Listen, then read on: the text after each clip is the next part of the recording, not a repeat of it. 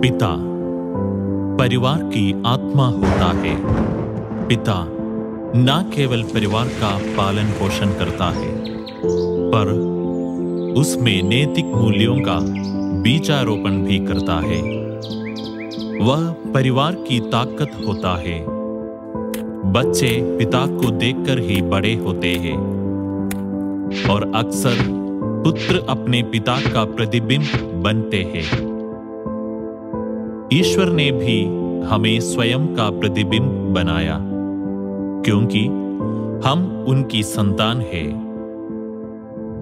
एक पिता ना तो लंगर की तरह अपनी संतान को एक स्थान पर रोकता है, ना ही पतवार की तरह उसे मंजिल तक ले चलता है।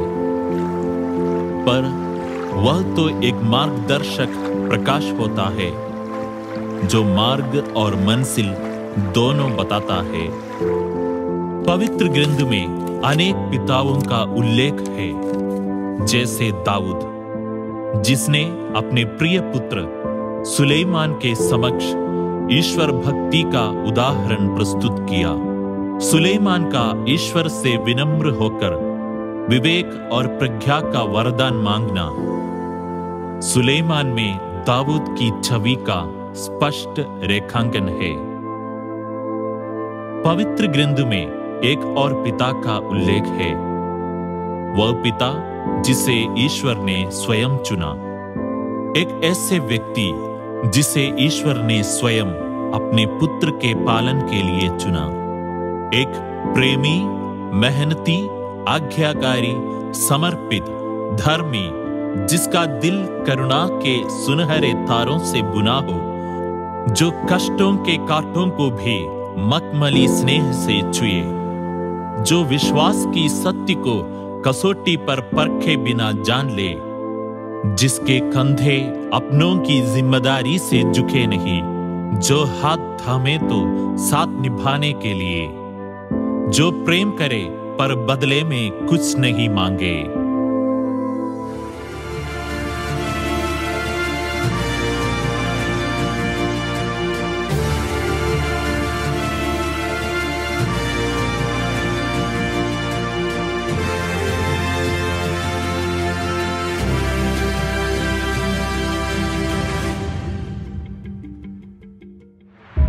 यूसुफ इब्रानी भाषा के शब्द यासब से लिया गया है, जिसका अर्थ है ईश्वर बढ़ाएगा या जोड़ना। पवित्र ग्रंथ में, पुराने विधान में यूसुफ का उल्लेख है, जो याकूब की प्रिय पत्नी राहेल की प्रथम संतान थी। नए विधान में यूसुफ अपने नाम के अनुरूप जोड़ते हैं। बांधे रखते हैं, बचाते हैं और आगे बढ़ाते हैं, विकसित करते हैं अपने परिवार को, बालक ईसा को। हमने अभी देखा है कि जोसफ नाम का अर्थ और उनका महत्व कैसे और किस प्रकार है। उनका नाम का विश्लेषण करने पर हमें मालूम पड़ता है कि जोसफ ईश्वर द्वारा बचाए हुए व्यक्ति हैं और आपस में जोड़ने का कार्य करते हैं। पुराने विधान में जिस जोसफ की बात हमने कही है, वह एक ऐसा व्यक्ति है जिनको अपने भाइयों के अत्याचार सहना पड़ा। बावजूद इन सब के जब ईश्वर ने उसे बचाया तो वह अपने भाइयों को, अपने माता पिताओं को एक साथ जोड़ने का कार्य करते हैं। नए विधान में भी हम देखते हैं कि संत यूसुफ, जिसे सब प्रकार की परेशानियों से गुजरना पड़ा, लेकिन ईश्वर का संरक्षण और ईश्वर की छत्र छाया में वह सुरक्षित रहा। ईश्वर उन्हें बचाए रखा।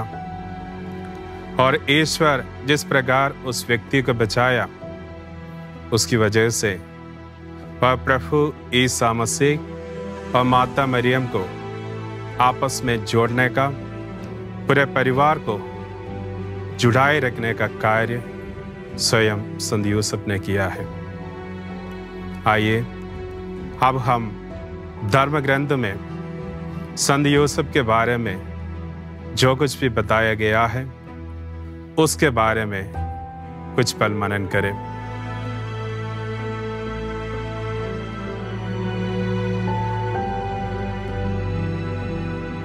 दो समाचार लेखक मत्ती और लोकस ने यूसुफ के विषय में सबसे अधिक वर्णन किया है, फिर भी उनके बारे में बहुत कम जानकारी मिलती है। तब भी यह वर्णन पिता के रूप में यूसुफ का आकलन करने और ईश्वरीय प्रज्ञा द्वारा उन्हें सौंपे मिशन को जानने के लिए पर्याप्त है। हम जानते हैं कि यूसुफ एक नम्र बढ़ई थे। उनकी मंगनी मरियम से हुए थे। वह धर्मी था। विधान और चार सपनों द्वारा प्रकट ईश्वर की इच्छा का पालन करने के लिए सदैव तत्पर था। नाजरत से बदलहेम की लंबी और धक्का देने वाली यात्रा करने के बाद वे चरने में मसीहा के जन्म के साक्षी बने। क्योंकि उनके लिए और कहीं जगह नहीं थी।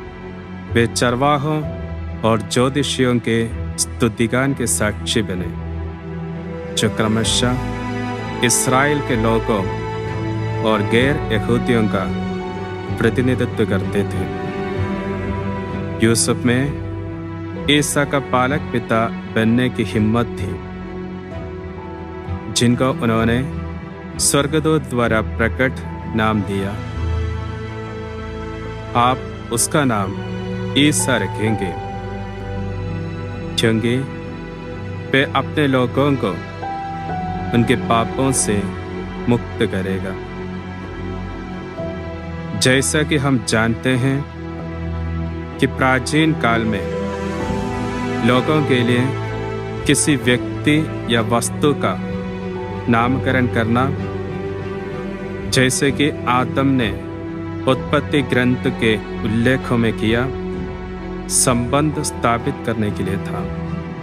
प्रभु ईसा के जन्म के 40 दिन पश्चात यूसुफ और मरियम ने उनके पुत्र को मंदिर में प्रभु को समर्पित किया और आश्चर्य से ईसा और उनकी माता से संबंधित सिमयोन की भविष्यवाणी सुनी।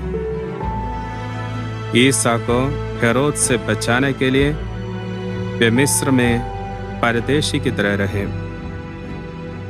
अपने देश में लौटने पर उन्होंने अपने पैतृक नगर, बैतलहम, यरूशलेम और मंदिर से दूर गलीले के एक छोटे और अनजान नगर नाजरत में गुप्त जीवन व्यतीत किया।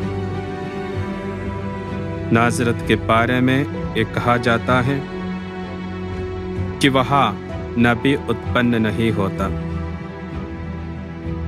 और वास्तव में यह कि, कि नाजरत से भी कोई अच्छी चीज़ आ सकती है। यरूशलेम में तीर्थाटन के दौरान मरियम और यूसुफ से अनजाने में बारह वर्षीय ईसा यरूशलेम में रह गए। उन्होंने बेचैनी से उन्हें ढूंढा। और मंत्र में शास्त्रियों के साथ वार्तालाप करते पाया। ईश्वर की माता मरियम के बाद उनके पति यूसुफ के अलावा ऐसा कोई संत नहीं जिनका इतने अधिक बार संत पापा के शिक्षण में उल्लेख हो। धन्य पियूस नव्वे ने उन्हें कैथलिक कलीसिया का संरक्षित घोषित किया।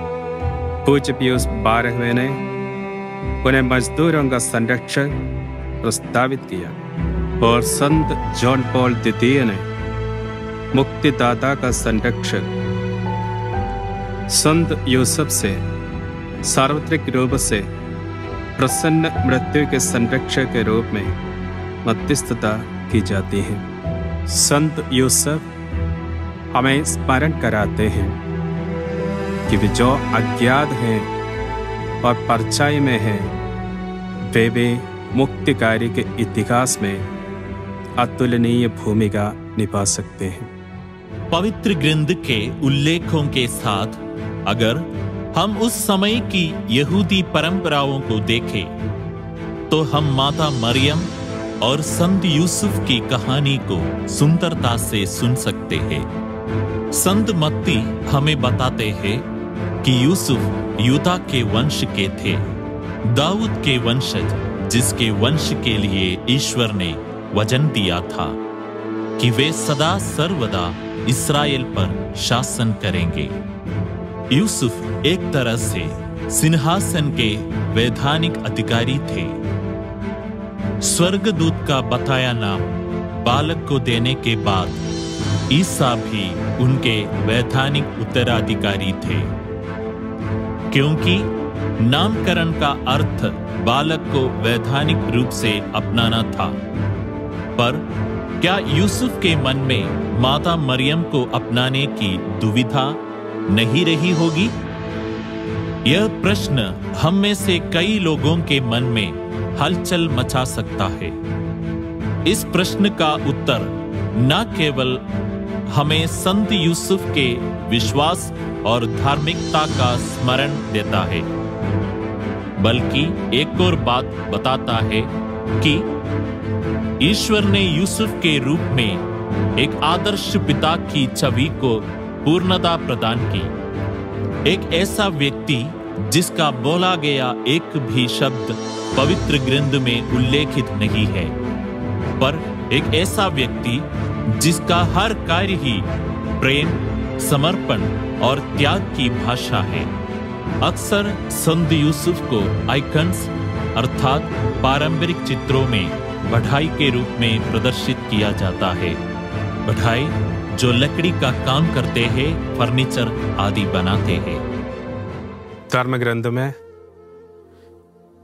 संत यूसुफ को एक मेहनती, परिश्रमी और परिवार के प्रति निष्ठा के साथ कार्य करने वाला एक व्यक्ति के रूप में दर्शाया गया है। हमने देखा है कि किस प्रकार स्वयं मेहनत करते हुए संत यूसुफ ने उस परिवार को पालन पोषण करता रहा। साथ ही साथ, जब कभी भी कतरों से होते हुए गुजरना पड़ा, तब हमेशा ईश्वर की इच्छा को सबसे अहम भूमिका दी थी। उन्होंने सपना देखा, लेकिन सपनों में भी उन्होंने यही देखा कि ईश्वर की इच्छा क्या है। किस प्रकार मैं ईश्वर की इच्छा को अपने जीवन में, अपने परिवार में जारी रख सकता है। स्वयं उन्होंने ईश्वर की इच्छा को पूरी करने के लिए अपना सुख सुविधाएँ अपने सब प्रकार का जितने भी खुशियाँ उनके जीवन में मिल सकता था, सब कुछ उन्होंने खो दिया। और इस प्रकार एक आदर्श पिता के रूप में और एक आदर्श पति के रूप में पति और पत्नी आपस का जो संबंध है, उसको बनाए रखा। एक सच्चे पिता के रूप में प्रभु ईसा मसीह को हमेशा प्रेम में बरकरार रखा। उसी प्रभु ईसा मसीह। इसलिए हम सभी के लिए आज दुनिया के मुक्तिदाता के रूप में प्रकट हो गया है, क्योंकि संत यूसफ ईश्वर की इच्छा को, अपने सपने में भी ईश्वर की इच्छा को निभाने के लिए हमेशा तत्पर रहे हैं।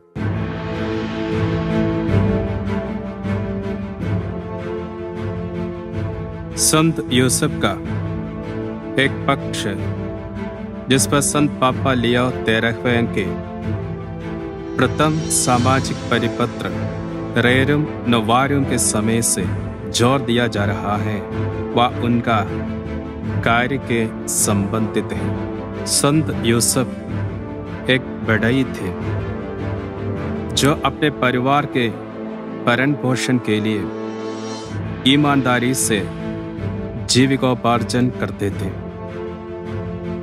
उनसे ईसा ने सीखा कि स्वयं की मेहनत के फल स्वरूप कमाई हुई रोटी खाने का मूल्य, गौरव और आनंद क्या होता है? हमारे अपने दिनों में जब रोज़गार एक बार पुनः ज्वलंत सामाजिक मुद्दा बन गया है और बेरोजगारी जब उन देशों में भी जो वर्षों से एक निश्चित स्तर की समृद्धि का आनंद भोग रहे थे रिकॉर्ड स्तर पर है, तब कर्म की गरिमा और महत्व को एक नवीकृत सम्मान की आवश्यकता है, जिसके संत यूसुफ उदाहरणात्मक संरक्षक है। कार्य मुक्ति कार्य में प्रतिभागिता का माध्यम है। स्वर्गराज के शीघ्र आगमन का, हमारे गुण और क्षमताएँ विकसित करने का और उन्हें समाज की और भातृत्व के, ऐक्य की सेवा में समर्पित करने का अवसर है। ये केवल स्वयं के नहीं, बल्कि समाज की प्राथमिक इकाई के, जो कि परिवार है, भरण पोषण का एक अवसर बन जाता है। एक परिवार जिसके पास काम नहीं, वह परेशानियों, तनाव, हिंसा और अलगाव की विशेष चपेट में है। हमें यह सुनिश्चित करना है कि प्रत्येक व्यक्ति एक सम्मानजनक जीविकोपार्जन कर रहा है। इस संबंध में कार्य किए बिना हम मानव के गौरव के विषय में बात कैसे कर सकते हैं? कामकाजी व्यक्ति, चाहे उनका कार्य कुछ भी हो, स्वयं ईश्वर का सहयोग कर रहे हैं। और इस तरह कुछ हद तक वे हमारे आसपास के संसार के सृजनकर्ता बन जाते हैं। हमारे समय की विपत्ति, जो कि आर्थिक, सामाजिक सांस्कृतिक और आध्यात्मिक है। हम सबके लिए कार्य के मूल्य, महत्व और आवश्यकता को पुनः खोजने की आज्ञा के रूप में कार्य कर सकती है, ताकि एक नया समाज लाया जाए, जिसमें से कोई भी न छूटे। संत यूसुफ का कार्य हमें स्मरण कराते हैं। कि मनुष्य के रूप में, अवतरण में, ईश्वर ने कभी कार्य का अपमान नहीं किया। रोज़गार को छीनने जो हमारे अनेक भाई बहनों को प्रभावित करता है, और जो कोविड 19 महामारी के कारण बढ़ गया है, हमारी प्राथमिकताओं के पुनर्वलोकन के लिए आज्ञा की तरह कार्य कर सकता है। एक विनम्र बठाई यूसुफ बहुत कम उम्र के रहे होंगे, जब उनकी मांगनी मरियम से हुई होगी। उस समय की यहूदी परंपराओं के अनुसार, एक 17 से 20 वर्ष के लड़के की सगाई 11 से 13 वर्ष की लड़की के साथ कर दी जाती थी। विवाह तीन चरणों में संपन्न होता था। पहला, सगाई। दूसरा, विवाह की तैयारियों का समय। और तीसरा, विवाहोत्सव। यहूदी परंपराओं में सगाई को बहुत महत्व दिया जाता था। एक तरह से यह विवाह ही था। पर केवल लड़का लड़की आधिकारिक तौर से साथ नहीं रहते थे।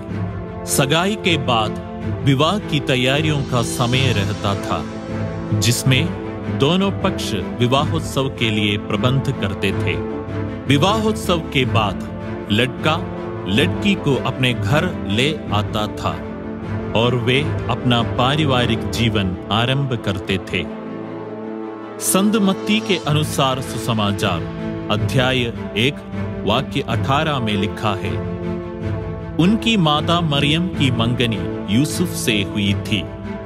अथा हम कह सकते हैं कि यूसुफ एक कम उम्र के नौजवान होंगे। पवित्र ग्रंथ के अनुसार वह धर्मी था। अतः हम कह सकते हैं कि यूसुफ को संहिता का ज्ञान था। सुसमाचार के अनुसार ऐसा हुआ कि उनके एक साथ रहने के पहले ही मरियम पवित्रात्मा से गर्भवती हो गई। मूसा के संहिता के अनुसार, अगर कोई जिसकी सगाई हो गई हो, विवाह के पूर्व गर्भवती हो तो पति उसे सार्वजनिक तौर पर कचहरी में अभियोग लगाकर तलाक ले सकता था। ऐसे हालात में लड़की को पत्थरों से मार दिया जाता था। संहिता के अनुसार चुपचाप त्याग पत्र भी दिया जा सकता था। ऐसे हालात में माता और गर्भस्थ शिशु दोनों को नुकसान नहीं होता और कानून तलाक भी हो जाता।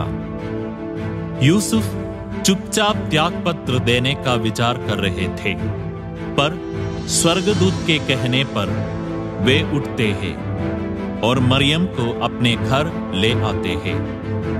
वे जानते थे कि ऐसा करने पर लोग यह कहेंगे कि उन्होंने कानून तोड़ा है। संतान उन्हीं की है या वे दूसरे की संतान को अपनाने को तैयार है। दोनों ही हालात में उनकी बदनामी निश्चित थी, पर उन्होंने ईश्वर की आज्ञा को सर्वोपरि रखा और स्वयं की बुद्धि पर आश्रित नहीं रहे। दयालु यूसुफ ने स्वयं को धर्मी प्रमाणित किया। संत यूसुफ प्रभु ईसा मसीह का अपना नाम रख दिया। साथ ही साथ उन्होंने उससे प्रेम भी किया है। प्रेम ईश्वर से उत्पन्न होता है और ईश्वर स्वयं प्रेम है। प्रभु ईसा मसीह को संत यूसुफ ने प्रेम का पाठ सिखाया। एक पिता वही होता है जो प्रेम करे और उनका पालन पोषण के लिए हमेशा साथ दे। सिर्फ़ जन्म देने वाला ही माता पिता नहीं होते हैं। प्रभु ईसा मसीह का एक सच्चे शिक्षक के रूप में भी संत यूसुफ उभर कर सामने आते हैं। जो प्रेम संत यूसुफ ने प्रभु ईसा मसीह को दिया था उसी प्रेम के अनुरूप प्रभु ईसा मसीह अपने जीवन को भी आगे बढ़ाया। इसलिए वास्तव में संत यूसुफ एक सही शिक्षक भी है। संत यूसुफ प्रभु ईसा मसीह के लिए एक सच्चे शिक्षक के रूप में भी कार्य किया है। प्रेम, सहनशीलता, धार्मिकता आदि गुणों को। प्रभु ईसा मसीह के जीवन में संत यूसुफ के जीवन को देखते हुए मिला। प्रभु ईसा मसीह और माता मरियम के लिए संत यूसुफ हमेशा एक छत्र छाया के रूप में और साथ ही साथ संत यूसुफ ने एक परछाई के रूप में उनको संरक्षण देता रहा। हम देखते हैं कि संत यूसुफ जिस प्रकार दुनिया के लिए एक आदर्श पिता के रूप में मौजूद है, वैसे ही आज दुनिया इस प्रकार के आदर्श, धार्मिक, परिश्रमी, मेहनती पिताओं के लिए लालायित हो रहे हैं। और आज जब हम संत यूसुफ को याद करते हैं, विशेष रूप से प्रभु ईसा मसीह के पालक पिता के रूप में तो ये समझना कि सिर्फ़ वह पालक पिता ही नहीं, बल्कि वास्तव में एक आदर्श पिता, जिन्होंने सभी मायने में उनका शिक्षक, उनके पिता और हर प्रकार उनके लिए एक आदर्श उदाहरण के रूप में हमारे सामने मौजूद है।